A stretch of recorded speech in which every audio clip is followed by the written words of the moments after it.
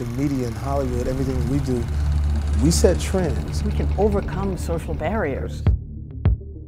There's no denying that people aren't influenced by what they see in, in media. When you can see someone that has the same jersey that you have on, you root for that team.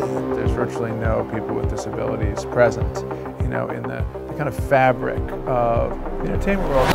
And that wallpaper is really our collective social wallpaper, right? It's how we see ourselves. Difference is a part of life. Everyone has to be represented. If you want your film to look realistic, perhaps you should put someone with a disability in it. I may speak differently, but it doesn't mean I'm different than you. If society got its ideas about people with disabilities from film and TV, they would think that we're either pathetic or super people. There is so much more that I believe that media can do.